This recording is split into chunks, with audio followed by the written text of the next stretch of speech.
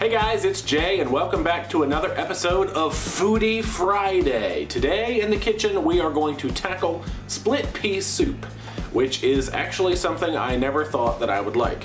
As a kid, I had a book called George and Martha that was about two hippopotamuses' eyes, hippopotamus friends. And the one story that always stuck with me is how Martha loved to cook split pea soup and George hated it with all his fortitude of his soul. He even went so far as to hide it in his shoe so he didn't have to eat it, but that story had a happy ending. So uh, since I've grown up, I have learned that I actually do like split pea soup. It's really easy to make and really quick. And to quote John Lennon, all we are saying is give peas a chance. Let's do it.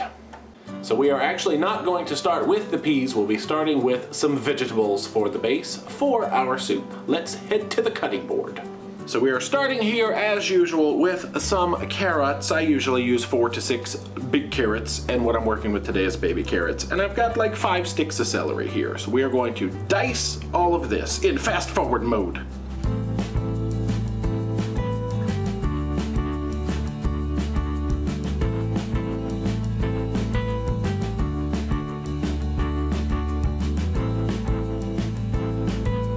Now that we have our vegetables in teeny tiny little pieces, we are going to want to put some oil in a pot on the stove over low, medium, low heat and soften these for probably 10 minutes or so till they start to be a little translucent. No browning, just softening.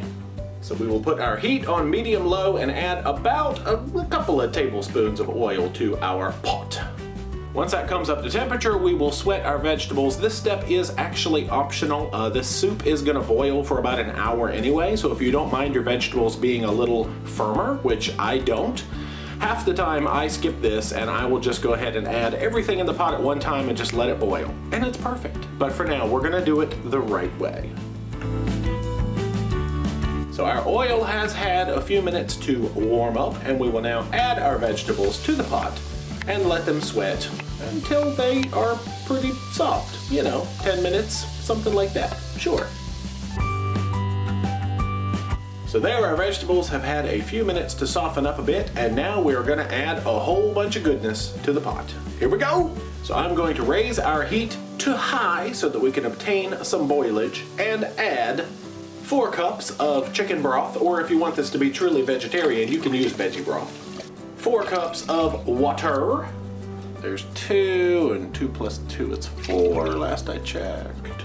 Our one pound of split green peas, which I have rinsed and strained, one tablespoon of dried minced onion, or you could have incorporated some fresh onion in this sweatage, one teaspoon of dried thyme, which I don't know why I'm measuring with a half teaspoon measure, but eh, whatever, and approximately three bay leaves. I like to try to pick nice big ones. I've got some kind of puny ones here today.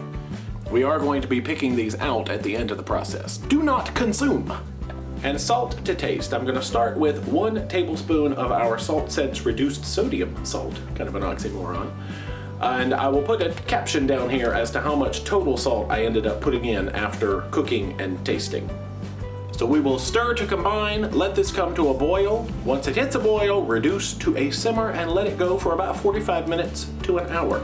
Taste it again for salt, and that's it. This is an easy one.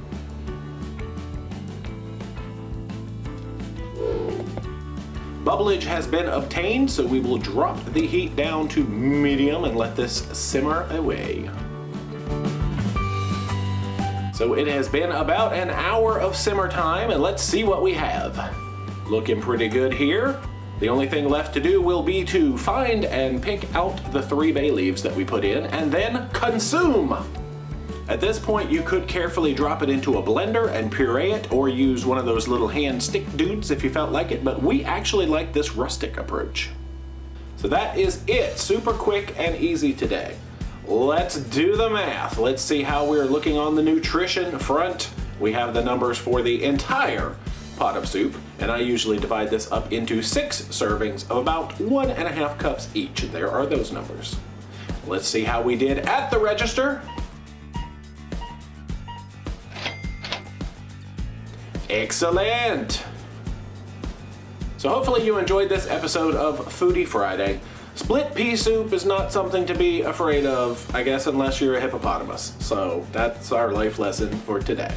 So please make sure to subscribe to the channel if you haven't already. Become a Paromaniac today. Follow us on social media. All sorts of stuff like that. And until next time, rock on!